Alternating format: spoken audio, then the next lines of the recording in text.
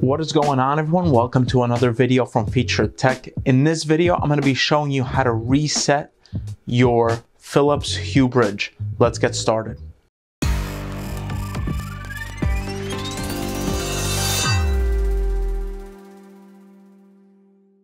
So the first thing you need to do is go into your Philips Hue app and then head to settings. So I'm sure as soon as you go into the app, you're greeted with this.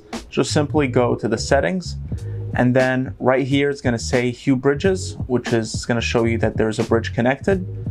And you're going to tap on that. Once you tapped on the I portion, you're going to simply scroll down or you're going to see at the bottom where it says delete and you're going to delete that bridge first from your app.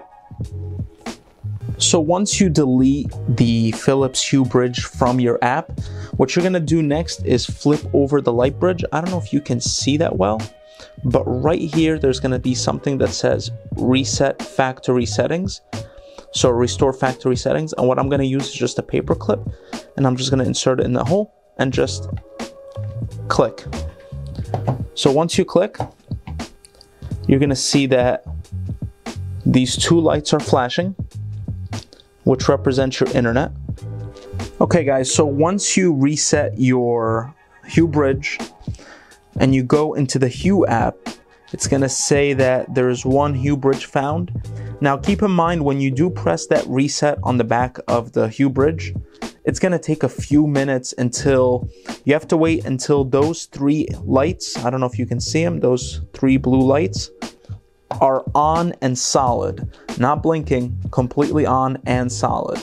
So once they are completely solid, you go into the app and it's gonna say the Philips Hue bridge and you're gonna pretty much reset everything. Like you're gonna reset up everything and you're gonna press on the button like it's telling you. And there you go, agree, continue. Okay, so it recognized I have a light strip, so we're gonna press next. And we're gonna create a room so in my case, I'm just gonna say bedroom. And then we're gonna press save. And there you go.